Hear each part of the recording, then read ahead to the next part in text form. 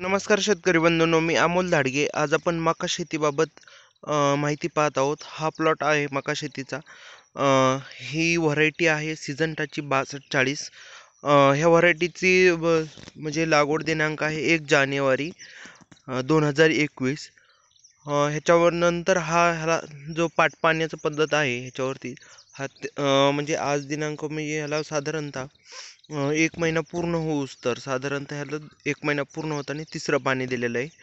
अ, थोडासा व्यत्यय आलता ह्याच्यामध्ये म्हणजे इलेक्ट्रिसिटीचा कधी शेतकऱ्यांना प्रॉब्लेम येतो तसं इथंही थोडासा डी पीचा प्रॉब्लेम आल्यामुळे ह्याच्यामध्ये जर जे तणनाशक एकवीसाव्या दिवशीनंतर अप्लाय करायचं असतं त्याच्या जागेवर अठ्ठावीस दिव दिवस झालेले येतं याच्या अगोदर हे ह्या शेतामध्ये तूर पीक होतं.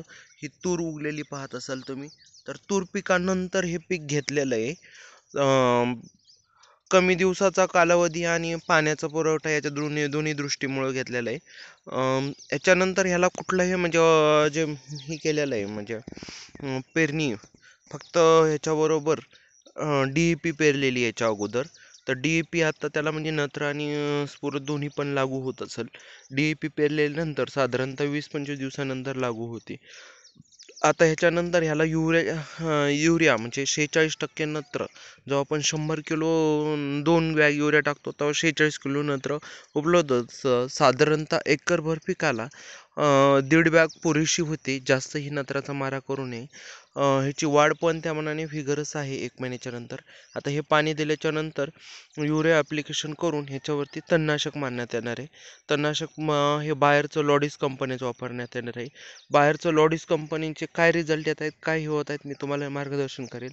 याच्यात पूर्वी ह्याच्यावरती आळीचा प्रादुर्भाव झाला तर त्या आळीच्या प्रादुर्भावानंतर काय घेतलं ते तुम्हाला मी सांगतो. हा पा म्हणजे जे पान खराब दिसतंय तुम्हाला हे किडलेलं पान दिसतंय. हे किडलेलं पान म्हणजे गाब्यातली जी लष्करी आळी होती ती याच्यावरती थोडासा प्रादुर्भाव व्हायला लागला होता. त्या प्रादुर्भावासाठी आपण ह्याच्यामध्ये इमॅक्टिन बेन्झाईट म्हणजे इमॅक्टिन बेन्झाईट पाच ई सी हा इंडोफिल कंपनीचा घेतला होता. याच्याबरोबर एक फंजीसाईड होतं एम फोर्टी फाईव्ह.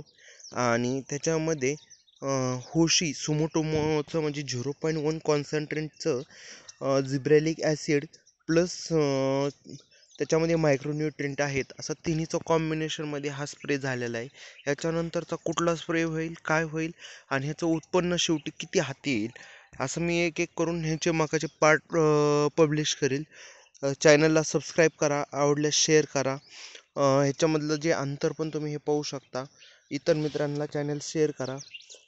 कृषीचे नवीन नवीन व्हिडिओ तुम्हाला या चॅनलवरती योग्य माहिती असलेली पाहायला भेटतील. व्हिडिओ पाहिल्याबद्दल मनपूर्वक धन्यवाद.